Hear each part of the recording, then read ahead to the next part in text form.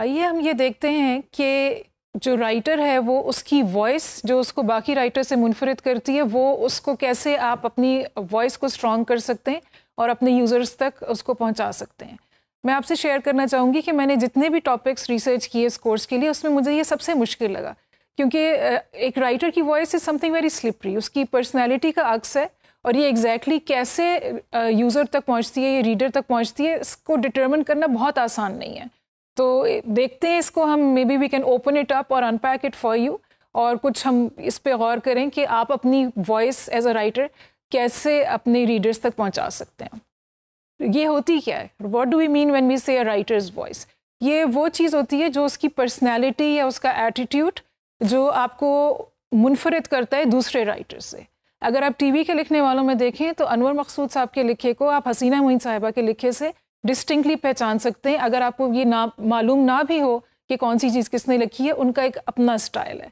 उसमें जो है वो चीज़ें कैसे वो करते हैं, एक तो ये कि वो वोकेबलरी के इस्तेमाल से अल्फाज का चुनाव उनका क्या है।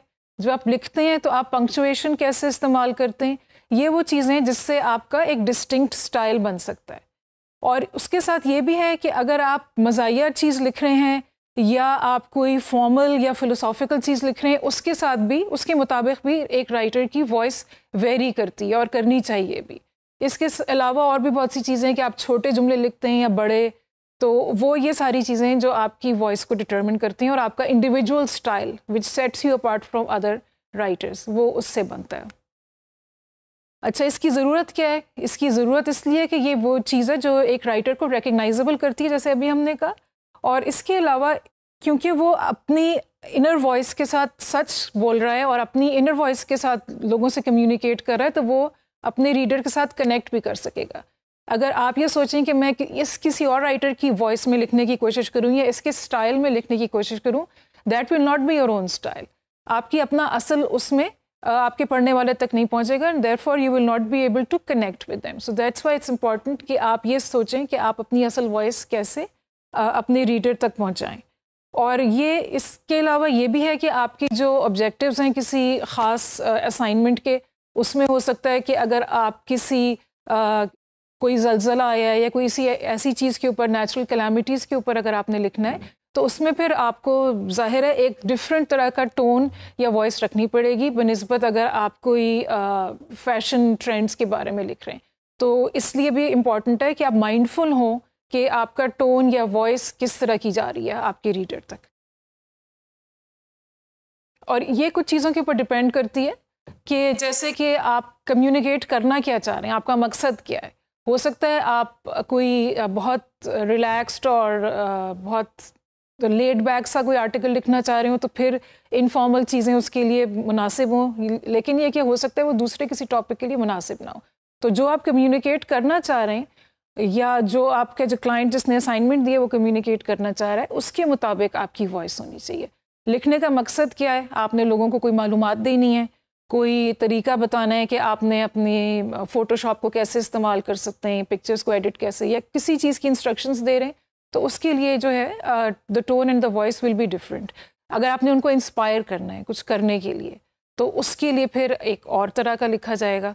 या अगर आपने किसी के फौत होने की ओबिचुरी ये अगर आप देखें गुरु डॉट कॉम वगैरह पे, इसके लिए भी रिक्वेस्ट्स होती हैं असाइनमेंट्स होते हैं कि किसी ने लिखा हुआ है कि मेरी बीवी की वफ़ात हुई है और मैंने एक ओबिचुरी लिखवानी है तो अगर कोई वो लिख के दे सके। तो उसके लिए फिर ऑब्वियसली आपने एक मेलो सैड और येट अगर हस्बैंड अपनी बेगम की ओबिचुरी लिखवा रहे हैं तो उसमें एक थोड़ा मोहब्बत का अक्स भी होगा। तो या मूवी रिव्यू के लिए तो इन सारी चीज़ों के लिए एक डिफरेंट टोन होगा। इसके अलावा ये है कि ऑडियंस सबसे इंपॉर्टेंट है, आपने ऑडियंस को भी जहन में रखना है। अगर आप यंग टीनेजर्स के लिए लिख रहे हैं, या आप वर्ल्ड इन्वेस्टर्स के लिए लिख रहे हैं, या स्टॉक मार्केट के जो यूज़र्स हैं, उनके लिए लिख रहे हैं तो इन दोनों में बिल्कुल एक डिफरेंट स्टाइल होगा। अगर आप टेक्नोलॉजी के जो गीक्स हैं, या जो एक्सपर्ट्स हैं उसमें, उनके लिए लिख रहे हैं तो हो सकता है कि आप उसमें जार्गन यूज़ करें टेक्निकल लैंग्वेज यूज़ करें और वो मुनासिब रहे। लेकिन ये कि अगर आप स्टूडेंट्स के लिए लिख रहे हैं तो वो हो सकता है बहुत उनकी रीच से बाहर हो और आप उनको इंगेज इस तरह से ना कर सकें। और इसके अलावा ये भी है कि आप ये भी देख सकते हैं मतलब रिसर्च हर किस्म की लिखाई में इंपॉर्टेंट होती है। तो इसमें भी आप ये देख सकते हैं कि दूसरे लिखने वाले जब उस किस्म की लिखाई करते हैं तो या उस जौरा के आर्टिकल्स लिखते हैं तो वो किस किस्म का टोन यूज़ करते हैं। तो उसको भी आप पढ़ के और थोड़ा सा आइडिया लगा सकते हैं। लेकिन like I said you can only connect with your audience अगर आप अपनी इनर वॉइस के साथ ट्रू होके और फिर उसको लिखेंगे और फिर उसको असाइनमेंट की नीड्स वगैरह को सामने रख के आप आ, करेंगे। अच्छा इसको लाइक आई सेड कि इसको वॉइस को अलग से डिफ़ाइन करना और डेवलप करना थोड़ा सा ट्रिकी है और वोकेबलरी की से ही कुछ थोड़ा सा इसका ओवरलैप है या सेंटेंस स्ट्रक्चर वगैरह से। तो इसलिए कुछ थोड़ी सी आपको ये एक सजेशन हम दे रहे हैं कि आपने जब कुछ लिखना हो तो उसमें लिखवे, में लिखने वाला जो आपने का असाइनमेंट है, उसमें आप ये ध्यान रखें कि आप कहना चाह क्या रहे हैं। यानी कि आप माइंडफुल हो जाएँ और कॉन्शियसली उसके बारे में सोचें कि मैंने कैसा टोन या कैसी वॉइस रखनी है। मैंने कॉन्वर्सेशनल सा चैटी सा रखना है या मैंने अथॉरिटेरियन रखना है कि जिसमें मैं कोई, किसी फ़ील्ड की अथॉरिटी हूँ, मैं कोई इंस्ट्रक्शंस दे रहा हूँ। या मैंने कनेक्ट करना है सेम लेवल के ऊपर कि मैं एज अ पेरेंट ऐसे करता हूँ, आपको कैसे करना चाहिए? So these are different things to be mindful of तो एक एडजेक्टिव्स की आप लिस्ट बनाएँ कि मैं करना ये चाह रही हूँ, इस असाइनमेंट में या इस जो पीस ऑफ़ राइटिंग है, उसमें मुझे ये टोन चाहिए। उसके अलावा जो आप नहीं करना चाह रहे, उसकी भी एक लिस्ट बना लें कि ये आपने एक्सपर्ट लाइक साउंड नहीं करना इस वक्त, या बहुत फॉर्मल साउंड नहीं करना। या किसी बहुत भरोसे के काबिल दोस्त की तरह साउंड नहीं करना। इसका मकसद ये नहीं है कि आप इसके ऊपर कोई और आपको नंबर्स देगा या असेस करेगा कि आपने इस लिस्ट को एडहेयर किया या फॉलो किया या नहीं। इसका मकसद सिर्फ़ ये है कि आपके जहन में कॉन्शियसली आप अवेयर हों जिस वक्त लिखें और आपको ये पता हो कि आप करना क्या चाह रहे हैं। और इसी तरह आप बाद में लिखने के बाद इसके अगेंस्ट उसको अपने सेल्फ असेसमेंट के लिए आप इस लिस्ट को यूज़ कर सकते हैं। और जो ये आपने लिस्ट बनाई है, इसके मुताबिक ही फिर आप अल्फाज का चुनाव करेंगे, पंक्चुएशन का चुनाव करेंगे टेक्निकल लैंग्वेज आपने कैसे यूज़ करनी है, उसको आप सिलेक्ट करेंगे, और कल्चरल स्पेसिफिक रेफरेंसेस आप कैसे दे सकते हैं या नहीं दे सकते। अगर आप जैपनीज़ ऑडियंस के लिए लिख रहे हैं तो आप पाकिस्तानी या अमेरिकन कल्चरल रेफरेंसेस फिर आपको उसमें नहीं देने चाहिए। So that will be difference also इसी तरह पंक्चुएशन का इस्तेमाल में आप सोच रहे हैं उसमें क्या फ़र्क पड़ता है? अगर जैसे आप इलिप्सिस जो तीन डॉट्स होते हैं, वो अगर आप डालें या एक्सक्लेमेशन मार्क्स डालें, ये इनफॉर्मल राइटिंग में अच्छे लगते हैं। क्योंकि आप ऐसे महसूस कराना चाह रहे हैं जैसे आप अपनी रीडर से बात कर रहे हैं डायरेक्टली तो उसमें वो चीज़ें चल जाती हैं, लेकिन हो सकता है फॉर्मल राइटिंग में या जैसे हमने कहा इन्वेस्टर्स के लिए या किसी टेक्निकल राइटिंग में उसमें ये इतना एक्सेप्टेबल ना हो। मेरा ये मानना है कि बहुत सारी चीज़ें आप कर सकते हैं एक्सरसाइज जैसे आपको बताइए एडजेक्टिव्स की लिस्ट वगैरह वो कर सकते हैं, लेकिन end of the day the most important thing and exercise for a writer is कि वो पढ़ता हो। जैसे स्टीवन किंग एक बहुत मशहूर ऑथर हैं हॉरर स्टोरीज ये लिखते हैं he sold millions of copies of his books और उनकी मूवीज़ भी बन चुकी हैं। उनका ये कहना है the best way to develop your writer's voice is to read a lot and write a lot there is really no other way to do it यानी जितनी आप प्रैक्टिस करेंगे, उतना ही आप में कॉन्फिडेंस आएगा, झिझक निकलेगी और आपको पता लगेगा कि आप अपनी राइटिंग में का क्या स्टैंड लेना चाहते हैं, कहाँ पे आप खड़ा होना चाहते हैं उसमें। So these are important things और जब पढ़ें तो मुख्तलिफ़ तरह की चीज़ें पढ़ें। ये नहीं कि आपको जो एक तरह की चीज़ पसंद है, वही पढ़ते रहें। डाइवर्सिफाई रीडिंग इंटरेस्ट पढ़ते हुए जो आपको चीज़ें फ्रेजेस अच्छी लगें या जो कोई आपको लगे कि ये राइटर ने बड़ा अच्छा टोन क्रिएट किया है तो नोटिस कि उसने क्या टूल्स यूज़ किए हैं। वर्ड्स और फ्रेजेस कौन सी हैं जो उसने यूज़ की हैं make a note of them और उसके अलावा free writing is very helpful आप कोई अपना टारगेट या कोई ऐसा वो ऑब्जेक्टिव के बगैर भी लिखें, बस टाइम सेट कर लें कि मैंने पाँच मिनट के लिए या दस मिनट के लिए नॉन स्टॉप लिखना है।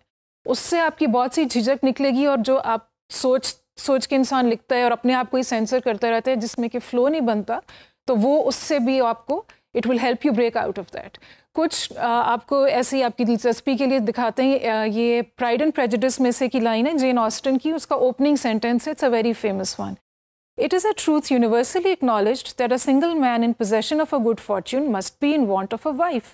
इस किताब में ज़्यादातर यही है कि लड़की, उनकी, जो ये खातून कह रही हैं, उनकी पाँच बेटियाँ and she is trying to get them married एक और है ये मोनी मोसन है, पाकिस्तानी राइटर फ्राइडे टाइम्स में भी लिखती हैं और the diary of a social butterfly. ये इनकी जो मेन कैरेक्टर है, जो कहानी बयान करती है, वो ज़रा कम इंटेलिजेंट और ज़रा जैसे कि नाम से ज़ाहिर है सोशल बटरफ्लाई टाइप की खातून है। तो उनकी उन्होंने वॉइस कैसे बनाई है?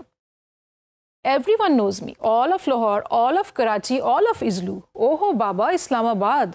Half of Dubai half of London and all of Khan Market and all the nice nice bearers in Imperial Hotel also no ball, no party, no dinner, no coffee morning, no funeral, no GT. Get together, Baba is complete without me.